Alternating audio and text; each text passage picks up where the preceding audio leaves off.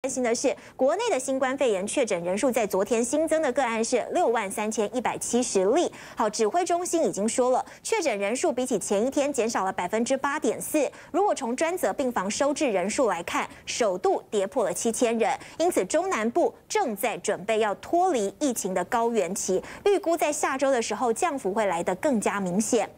但是呢，其实从今年一直到现在，整个欧米狂造成了三千八百六十一个人死亡，这当中儿童青少年的部分已经占了二十例。不过说到了疫情，我们来看到，其实现在在中南部的疫情依旧是蛮险峻的。因此呢，台中市长卢秀燕已经宣布了高中职的远距教学再延长，随后包含了彰化、南投还有嘉义县、高雄也都宣布要跟进。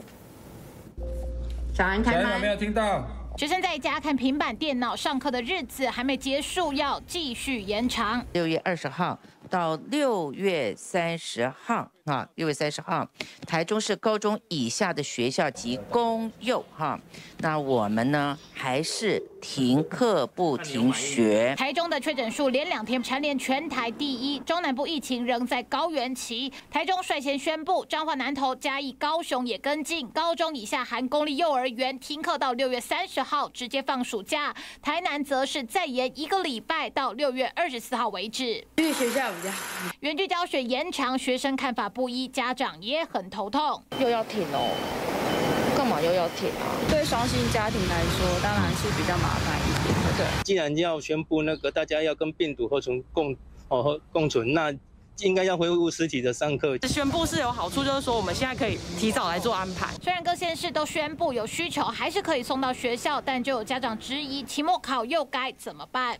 因为老师也没有办法每个都都去监管到。学生期末评量由各校自行决定，公平性也引发质疑。但有部分家长早就做好远距到暑假的准备，毕竟眼下疫情未趋缓，又有新型亚变异株入侵，权衡之下还是在家比较安心。记中部综合报道。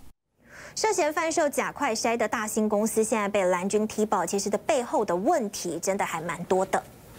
从卖墨水夹改卖夹快筛的大兴公司，不但遭蓝军踢爆藏身在民宅爽赚一百二十亿，现在更被发现，其实卫福部早在一个月前就知道有黑心快筛，因为五月十三号就有业者示警说富乐快筛有问题，应该废止核准，但卫福部却拖到六月十号才处理，让假快筛溜遍全台。明显是食药署的责任嘛，你不知情你怎么审查？你审查不知情，那你还审个鬼啊？但食药署连验货都不验，所以才。放的这些假货到处流窜，大兴公司从印表机卖到快筛机已经够离奇，更有人爆料，大兴执行长黄南进以前根本是卖眼镜的，还连度数都配错，眼镜多了一百多度，真的是心术不正，跟所有的老师借的钱，然后借了不还，还有包括在我的性评委员会当中，他的个案也常常被拿出来做一些的讨论，不太意外，因为这个人做人就非常的不诚实。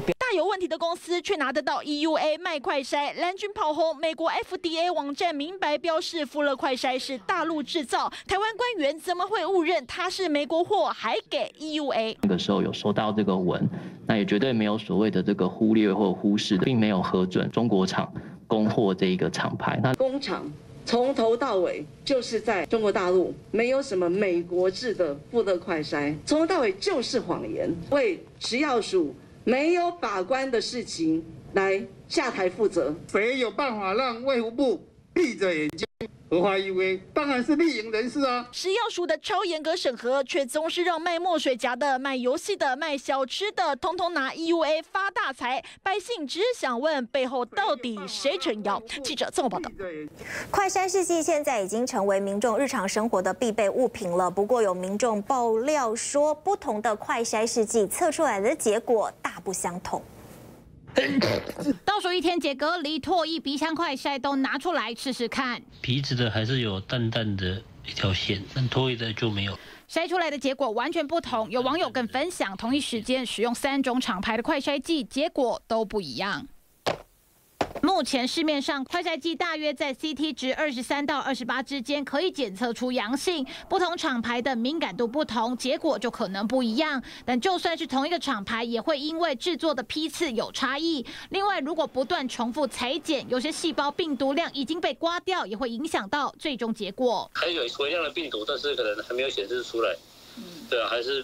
比较会会比较担心一点。阴阴阳阳，民众被搞得不飒飒。专家教你在感染初期出现症状后怎么测，隔一到三天再检测比较容易筛出阳性。如果不放心，也可以连筛五天，或是换个厂牌筛。八九成的感染者在这些步骤之后都可以筛出阳性，但有一个关键要注意：十到十五分钟去看结果，啊，超过这些时间太多了，你你看了就不准了。医师表示，快筛剂会受到空气中的物质干扰。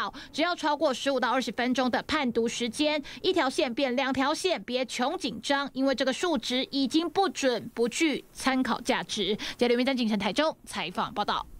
好，现在有蛮多朋友在确诊康复之后出现一些后遗症。这回是医师江冠宇表示，有一名国中生染疫之后来看诊，表示说他很容易失神，很容易健忘，结果导致学习成绩下滑，而且就连日常的睡眠还有情绪也受到影响。好，因此呢，江医师特别指出了，不是确诊之后轻症就没有事，因为其实呢，很多这个孩子都会受到影响，当然在学习上的自信心也会发生问题。确诊之后就变成金鱼脑，因此呢，医师特别建议，如果观察到孩子在这个受到后遗症的干扰，不如干脆适当的好好休息一个学习，免除学习能力低落会影响到升学。当然提醒家长也不需要给小朋友们太多的压力。好，只不过其实这个小朋友染疫，还有小朋友的相关健康问题，家长都很关心。全国将近三十万的学生染疫，当然儿童疫苗太晚开打，让不少的学校还有家庭天下大乱，也引发外界批评。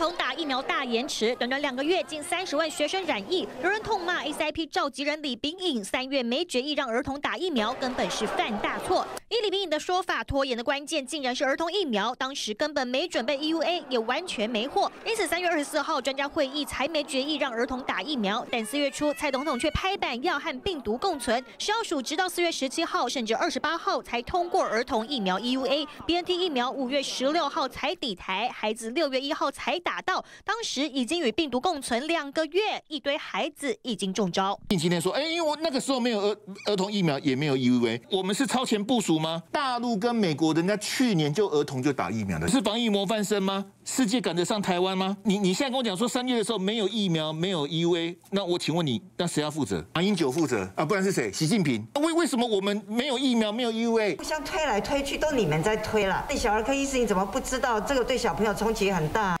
痛批两个月来小孩一堆中招，停课无法上学，连带家长大崩溃。眼看六月底就要放暑假了，才让孩童打第二剂。李冰颖讲的鬼话，就是完全在推卸责任。结果现在出事了，你们在说哦，当时也没有 EUV。指挥中心以及这一群所谓的专家学者，才应该为这一次的台湾疫情破口以及牺牲付出最大的责任。原来大官们对儿童疫苗当初根本没规划，也没要卖。李冰颖的一番话，恐怕让全国家长拳头都握起来。记者张正明、李一璇台。北报道，国外有研究发现，四十五到六十九岁的中壮年者，比起十八到二十四岁留下的后遗症的风险还高出了四点五倍。好，到底该如何解决呢？专家说，其实绝招就是大规模的施打肺炎链球菌疫苗。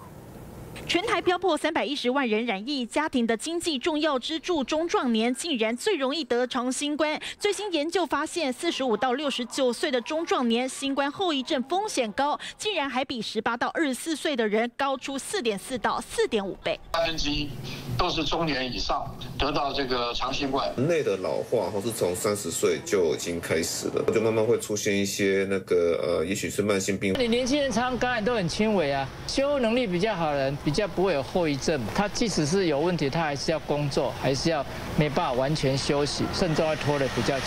这份研究同时指出，新冠后遗症的患者每十人约有四人受肺炎所苦。最恐怖的危机是，身体被新冠病毒入侵之后，抵抗力低下，这种细菌最容易入侵。呃长新冠的人没有好好的恢复他的肺功能，很容易再得到肺炎球菌。有可能你在得新冠肺炎之后呢，又并发细菌性肺炎。